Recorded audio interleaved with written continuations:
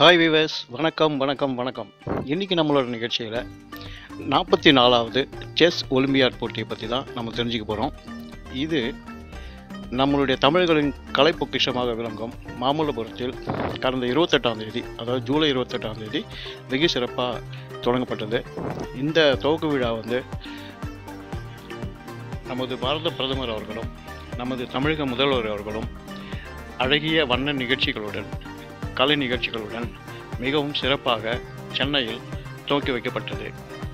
மேலும் தம்பி என்ற இந்த செஸ்ஸோட அந்த அழகான ஓவியத்தோட ரொம்ப சிறப்பாக வந்துட்டு இந்த நாற்பத்தி நான்காவது சர்வதேச சதுரங்க போட்டி துவக்கி வைக்கப்பட்டது. இந்த நிகழ்ச்சியை பற்றி தான் இன்றைக்கி நம்ம பார்க்க இருக்கிறோம். வாங்க நிகழ்ச்சிக்கு போகலாம். சென்னைக்கு மிக அருகையில் மாமல்லபுரத்துக்கு மிக அருகில் பூஞ்சேரி என்ற கிராமத்தில் தான் இந்த செஸ் ஒலிம்பியாட் போட்டியில் தற்சமயம் நடந்து கொண்டிருக்கிறது. இந்த பூஞ்சேரி கிராமத்தில் அழகிய கலை சிற்பங்களுடைய கற்களாலான சிலைகளும் மற்றும் வடிவமைப்பு பெற்று மிகவும் சிறப்பாக இந்த பூஞ்சேரி கிராமம் காட்சியளிக்கும். இந்த சிறப்புமிக்க பகுதியில் தான் இந்த நாற்பத்தி நான்காவது சர்வதேச சதுரங்க போட்டி வந்து நடந்துட்டுருக்கு. இந்த சதுரங்க போட்டியில்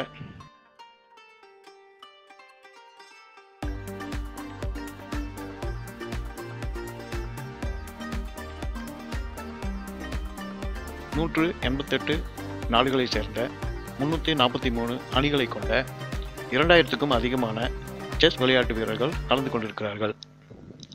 மேலும் தெரிந்து கொள்வோமானால் கலாச்சாரங்கள் பெருமை வாய்ந்த இந்த சென்னை அருகில் இருக்கும் இந்த மாமல்லபுரத்தில் இந்த நிகழ்ச்சி இந்த சிறப்பு போட்டி இந்த செஸ் போட்டி நடைபெறுவது நமக்கும் மிகவும் சிறப்பு வாய்ந்ததாக கருதப்படுகிறது.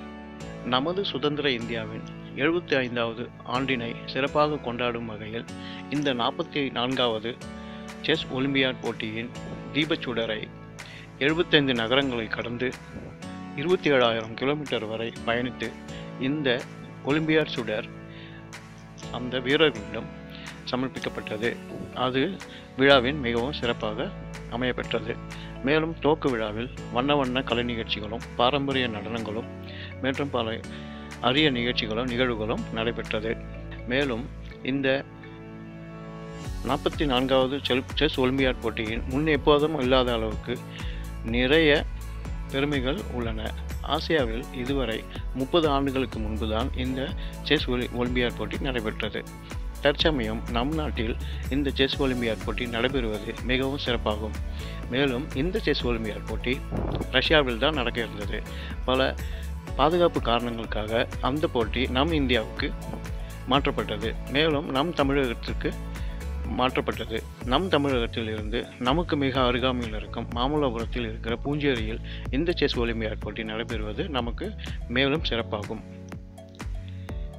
தமிழகம் கோயில்கள் நிறைந்த மாநிலம் என்பது அனைவருக்கும் தெரியும். ஒவ்வொரு கோவிலுக்கும் ஒரு ஒரு சிறப்பு உள்ளது. அப்படி இந்த செஸ் விளையாட்டை நினைவுபடுத்தும் வகையில் நம் சதுரங்க வல்லபநாதர் கோவில் தமிழகத்தில் திருவாரூர் மாவட்டத்தில் அமையப்பட்டுள்ளது திருவாரூர் மாவட்டத்தில் திருப்புவனரில் இந்த கோயில் உள்ளது. நம்முடைய சிவபெருமானை செஸ் விளையாடி இருப்பதை இக்கோயில் சுட்டிக்காட்டுகிறது. தமிழகத்தில் இருந்து நிறைய கிராண்ட் மாஸ்டர்கள் உருவாகி இருக்கிறார்கள். அப்படி நம் கிராண்ட் மாஸ்டர்கள் ஒருவர் திரு விஸ்வநாதன் அவர்கள். விஸ்வநாதன் ஆனந்த் அவர்கள் நம்முடைய உலக சாம்பியனாகவும் பலமுறை தேர்ந்தெடுக்கப்பட்டுள்ளார். மேலும் நம் தமிழகத்தில் சேர்ந்த கிராண்ட் மாஸ்டரான திரு பிரஜயானந்தா அவர்கள் இந்த போட்டியை கலந்து கொள்வதற்கு முன்பு தமிழகத்தில் நமது சூப்பர் ஸ்டார் திரு ரஜினிகாந்த் அவர்களை சந்தித்து ஆசைகளை பெற்று அவருடைய போட்டியை தொடங்கியிருக்கிறார். அவர் வெற்றி பெற நம் நிகழ்ச்சியின் சார்பாக வாழ்த்துக்களை தெரிவித்துக் கொள்கிறோம். மேலும் மேலும் பல கிராண்ட் மாஸ்டர்களையும் மற்றும் சர்வதேச கோப்பைகளையும் வெல்ல நம் நிகழ்ச்சியின் மூலம் அவர்களுக்கு வாழ்த்துக்களை தெரிவித்துக் கொள்கிறோம்.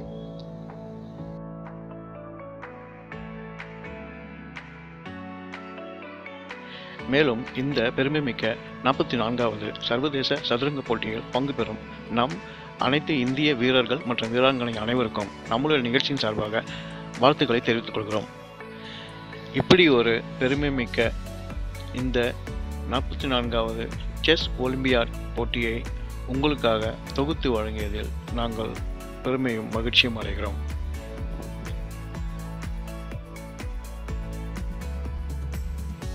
மேலும் இந்த நிகழ்ச்சியை பற்றி உங்களுடைய கருத்துக்களை கமெண்ட் பாக்ஸில் தெரிவிக்கவும்.